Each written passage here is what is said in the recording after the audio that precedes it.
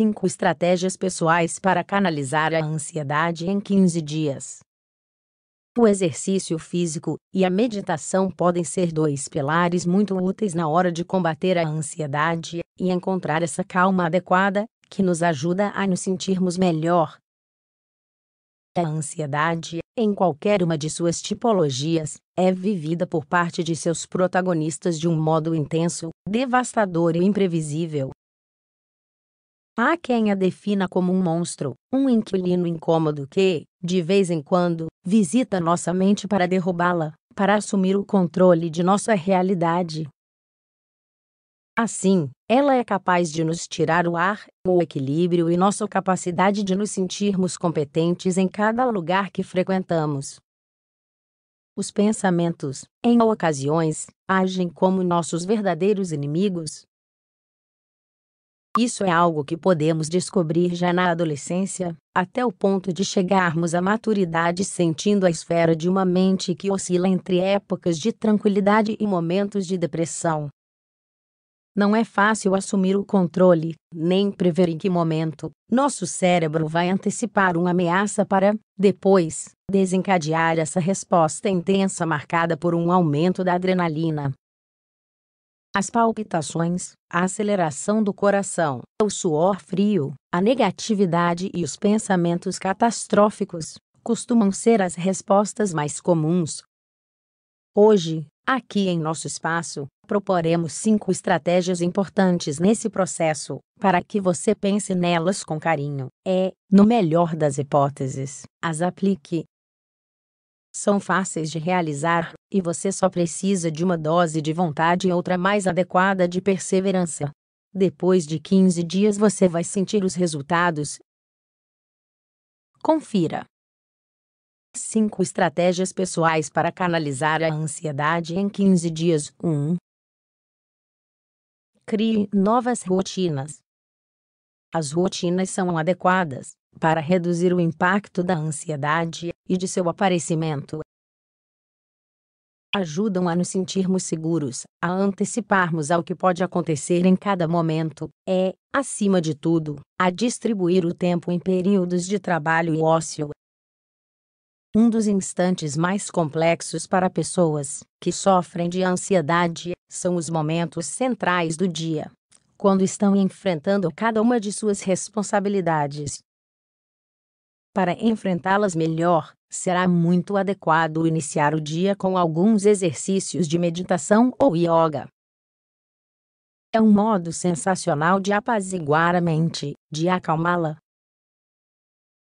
Em suas rotinas, você deve estabelecer no fim do dia algumas horas de descanso para relaxar. É ideal sair para caminhar, fazer natação, ou, simplesmente, relaxar pintando algumas mandalas, ou lendo um livro. 2. Aprenda a racionalizar.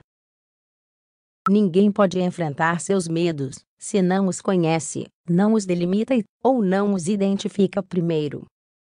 É necessário realizar um processo de reflexão e introspecção adequado, no qual enumeramos o que nos preocupa, o que nos tira a calma e o que nos confunde.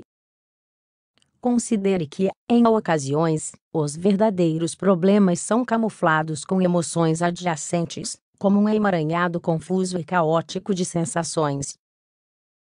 Pense que sensações tais como sinto raiva, tenho medo, estou chateado com o mundo, podem esconder problemas, como não gosto do meu corpo, sinto-me machucado por um relacionamento, ou minha infância traumática ainda me define, etc. É preciso identificar o problema central.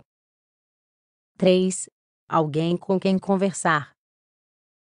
Todos nós precisamos de alguém com quem conversar, com quem desabafar, é, acima de tudo, com quem sentimos que somos escutados e entendidos. É necessário que você preste bastante atenção com quem decide compartilhar o tempo sempre que notar o demônio da ansiedade começando a rondar Procure por alguém que não te julgue, nem que te diga, é que você enxerga tudo de forma extrema, você é exagerado, etc.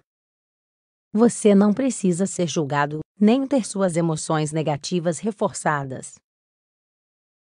O que procuramos é calma e equilíbrio, que nos ajudem a racionalizar nossas inquietudes, medos e acalmar nossos pensamentos obsessivos. 4. Mindfulness na vida cotidiana. O Mindfulness é uma filosofia de vida baseada, acima de tudo, na prática da meditação, contudo, inclui muito mais enfoque, que nos permita canalizar a ansiedade de um modo muito útil, sempre e quando investimos tempo e vontade. O Mindfulness nos ensina a levar uma vida mais presente. Por isso, temos que ser conscientes de nossas necessidades atuais. Nos conecta com a realidade que nos rodeia, no aqui e no agora. Por isso, não há por que antecipar as coisas que ainda não aconteceram, como ocorre com a ansiedade.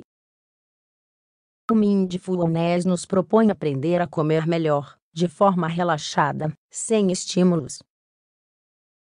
Nos ensina a relaxar, a conectarmos mente e corpo, a aproveitarmos as oportunidades que nos envolvem sem adiantar os fatos negativos.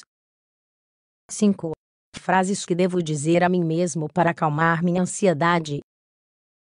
Ter em nosso dia a dia uma série de frases com as quais nos concentramos e com as quais encontramos um ponto de necessário equilíbrio dentro de nós é, sem dúvida, uma boa estratégia para canalizar nossa ansiedade. Deixaremos aqui alguns exemplos simples. Eu tenho o controle, nada ruim vai acontecer, minha mente está em calma, e meu coração bate devagar, relaxado e sem pressa. Tudo está bem, estou calma. Sou dona da minha mente, sou artesã das minhas emoções, captando meu coração. Nada vai me vencer. Estou bem, nada me confunde. Eu me sinto bem, nada, nem ninguém vai me tirar a paz.